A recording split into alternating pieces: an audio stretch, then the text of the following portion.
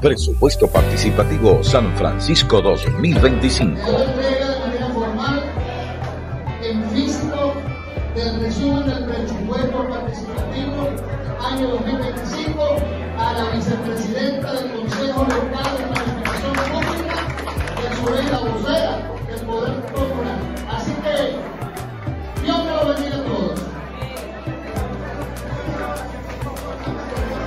Mi nombre es Liz Mari Morán, vicepresidenta del Consejo Local de Planificación Pública por las comunas del municipio de San Francisco. Bueno, el proceso ha sido bastante amplio, se han convocado a todas las organizaciones de base, organizado para que el pueblo participe y se empodere de lo que son las políticas públicas del municipio.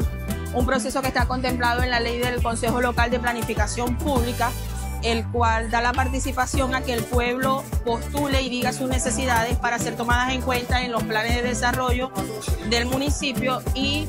en las competencias que al municipio le corresponde, en este caso la alcaldía, que está presidida por el alcalde Gustavo Fernández. Quiero destacar que se le dio apertura el pasado lunes 11 de noviembre. Eh, los días martes, miércoles y jueves hubo la incorporación de proyectos y de propuestas a través de vía online y por vía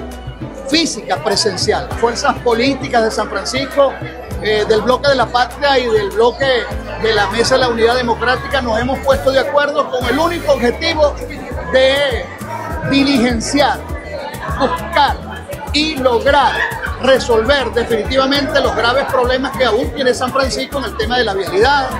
en el tema del servicio de gas, en el tema de la recolección de desechos, que ha mejorado de manera exponencial en casi un 80%, pero son temas que tenemos que seguir eh, debatiendo y poniéndonos de acuerdo, porque al final, cuando los factores políticos se ponen de acuerdo, terminan siendo beneficios para las comunidades de San Francisco.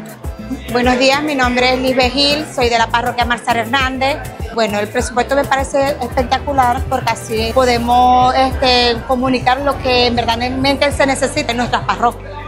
Mi nombre es Wilfredo Bach. Estamos luchando aquí, estamos en esta reunión para poder conseguir lo que nosotros anhelamos tener. Y le agradecemos a, a nuestro alcalde,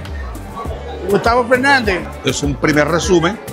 que va a ser parte del soporte que se use para el, la construcción del plan de inversión pero como durante todo el año, lo que resta de año, se pueden seguir recibiendo propuestas,